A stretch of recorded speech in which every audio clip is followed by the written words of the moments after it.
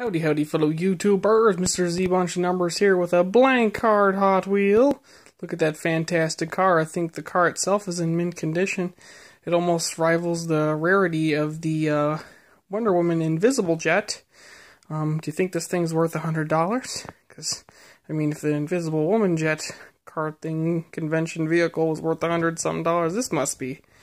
No, I just kid. I don't really care.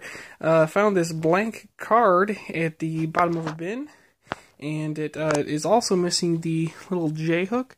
That's kind of another cue to let you know that it did not have a car on it, and it wasn't just a bad seal. So if you uh, happen to see one of these at the bottom of one of your dump bins, um, yeah, check it for a J hook because sometimes it actually could be that the card just had a really, really bad seal.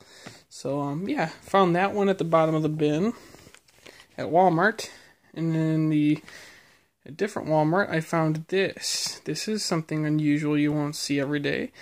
I've only seen one other like this as extreme as this cut out. I have uh, one that has part of this J hook piece here stuck in the package, but not the actual cutout. So the actual cutout is stuck in the blister. So yeah, pretty neat. Um, makes you wonder if it's actually from this car or not.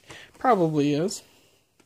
Then I got a bunch of wheel errors to show you. Um, this one's actually not a wheel error; it's a paint error, light paint. I actually bought this car just because I didn't want to just take this card, so I kind of bought this generic error to get that card with it. So that was part of what I did to uh to get the card.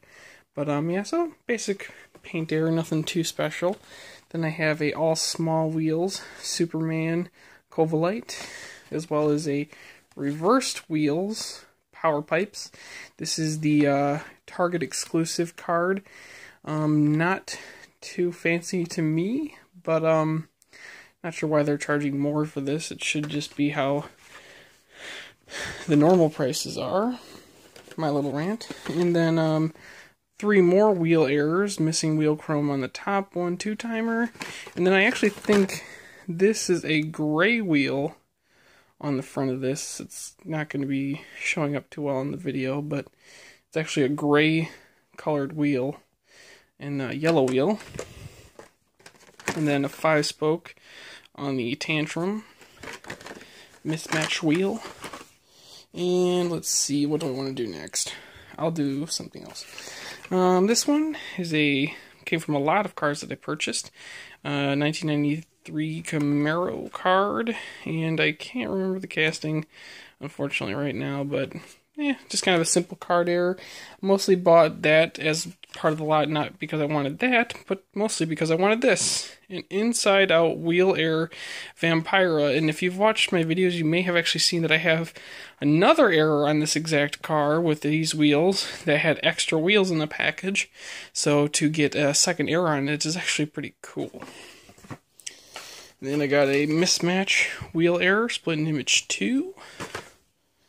And then this one's a real fun one. It uh, the rivet's broken, and it's sitting on the bottom, and the wheel is actually in between the chassis. Now I think what happens is, it when it tried to punch it, it actually with the wheel being there, it tried real hard to push it together, but couldn't because the wheel was there. So I'm thinking that's what's happened on that one. Then I have Oshkosh cement mixer with a GM lean machine inside of it. And then I think this one is can't really tell what exactly is going on with this one other than maybe the rivet was too long or the body post. But the uh oh, I remember. I won't be able to show it, but this was another broken body post. The rivet head still shows on the bottom, but it's actually separated from the actual post so that's why the back end's kind of jacked up like that, making it look like a high raker. And then not really an error, but just sideways in the package. Probably just got that way from storage.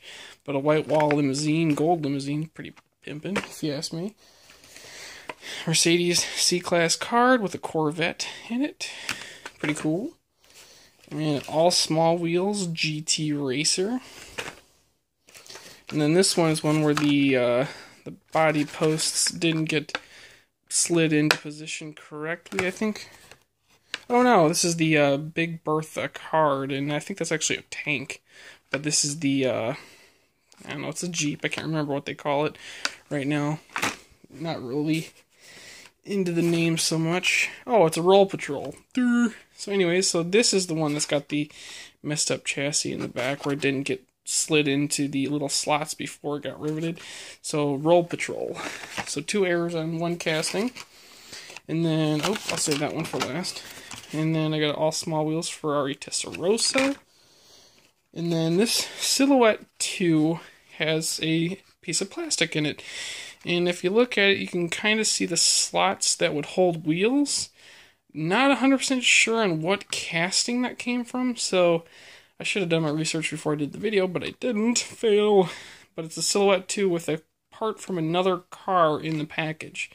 Not something I've had before, so when I saw that in the group of cars, made me go after the whole lot, along with that Vampyra, uh, Missing Wheels, um, Ratmobile, pretty cool. I actually like that's the original black version.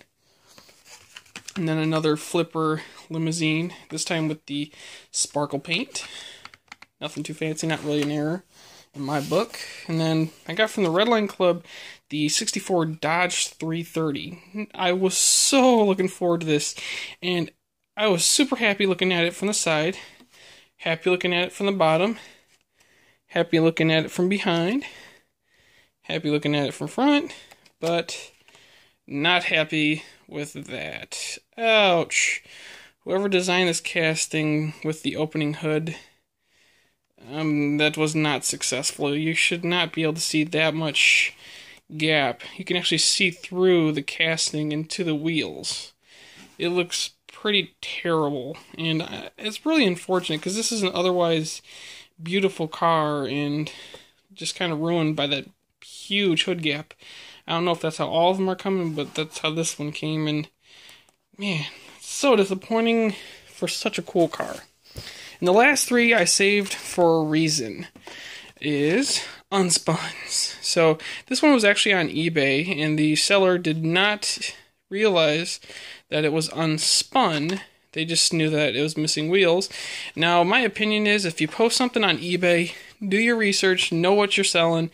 Um, it's not the job of the buyer to inform the seller of what they have so they can make the most possible money off of it. Um, sounds kind of rude, but it's a lesson you have to learn if you want to sell stuff. I personally had to learn my lesson with that as well, and it's just part of, you know, you want to sell something and you want to make the most money, know what you're selling. So anyway, I didn't feel too bad about getting a deal on this. Um, wasn't too terribly cheap, but it was a good price for the type of error considering I didn't have it. I can't really show it, but this one is actually missing part of the base code. It has the H, but no actual date. So I'm almost wondering if it was a line pull car that um it was pulled at a certain point maybe, or it just didn't get a complete base code. I haven't seen that before, and I do know that the ones that show up on eBay from Malaysia have no base codes. So I don't think this is a repack, but even if it was, the seller bought it at a store and wasn't even aware of the fact that it was unspun. So, um, if somebody did return this to Walmart, um, uh, that would be really silly because they probably paid 20 bucks for it anyways, um, getting it from Malaysia. But um, either way, it's an unspun, and I probably will open this maybe someday just to see if the wheels are crimped because usually the ones coming from Malaysia have uncrimped wheel um wheels, which means that the little thing that holds the wheels to the chassis isn't um, pinched, so the wheels can come off freely.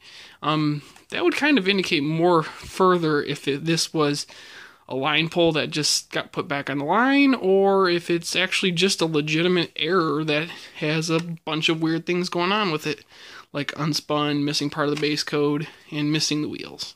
So, really cool error. And then I got another kind of a double error. That was like a triple error.